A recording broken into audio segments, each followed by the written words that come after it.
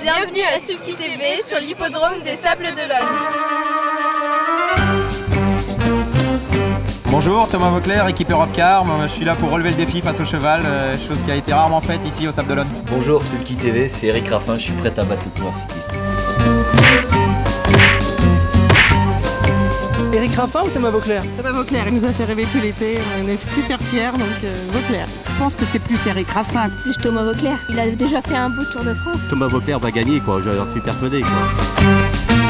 Maintenant, des coureurs qui ont été maillot jaune du tour, euh, dans la foulée, faire une- un défi contre un cheval, je suis pas sûr qu'il y en a eu beaucoup, mais bon, tant mieux, ça va peut-être une première. J'ai eu la chance de gagner le prix d'Europe cet après-midi, donc euh, tout va bien, non, non, je suis archi prêt. Vive le trotteur Qu'est-ce qu'il va faire ton papa? La course Tout ce que je sais, c'est qu'un coureur cycliste, il peut pas tenir 380 mètres à fond, c'est pas possible, donc il faut quand même gérer un minimum l'effort, ça c'est sûr.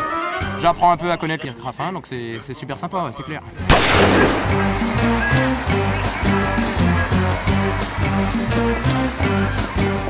C'était sympa, c'était très serré, mais au passage du poteau, je savais pas qui c'est qui avait gagné. C'était très serré la, la première et la dernière, à chaque fois c'était c'était indécis. Donc euh, bon, il est allé un peu sur le dur la troisième manche et c'est ce qui m'a pénalisé.